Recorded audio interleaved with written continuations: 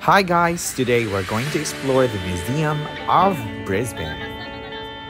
And I feel so lucky today that I am with my classmates and my teacher from Access Institute. Come to my channel! If you are new to my channel, please hit like, subscribe, and share. And thank you so much for your support. The Museum of Brisbane was opened in October 2003. It replaced the Brisbane City Gallery, which had been in operation since 1977. You can find it on level 3 of Brisbane City Hall in King George Square, Brisbane, CBD. They have prominent collections of commissioned works from local artists. They look so interesting. From different ornaments and decorations to different books, earrings, and cards, and different displays like mugs and scarves.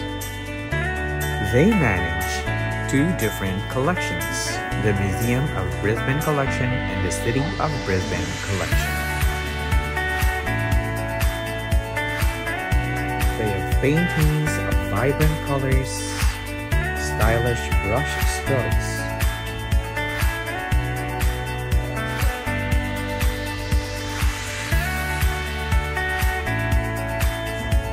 delicate artifacts. It was temporarily relocated to Ann Street in 2010 during the City Hall's restoration and returned to City Hall and reopened on April 6, 2013. And to tell you, they have textile collection from designers from Easton Pearson. Well, as you can see, the background is set, and all you have to do is to strike a pose. They have perfect flowers and vines made from knitting, and some exquisite paperwork design. The Museum of Brisbane will also immerse you to the rich historical background of the city. It gives you different historical artifacts and some paintings from the past. And on its walls, you can read a vivid historical narrative of each of the historical paintings. One thing that struck me most here is to see a painting of the camp that is connected to the history of the Philippines because it is the place where General MacArthur stayed after he left the Philippines. There are some Aboriginal paintings too, and they all depict Aboriginal patterns, figures, and designs.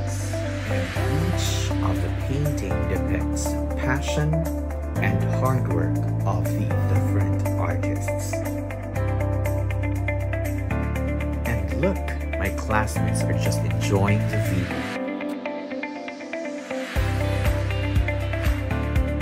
The Museum of Brisbane is open daily from 10 to 17 p.m.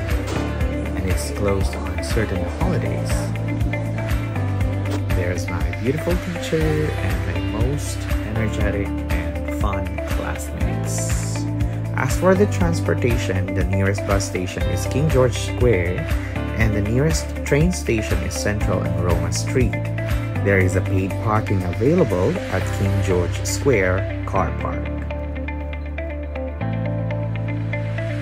Once again, this is Clement signing off and thank you so much for watching the GUDKID channel. I hope to see you in my next video.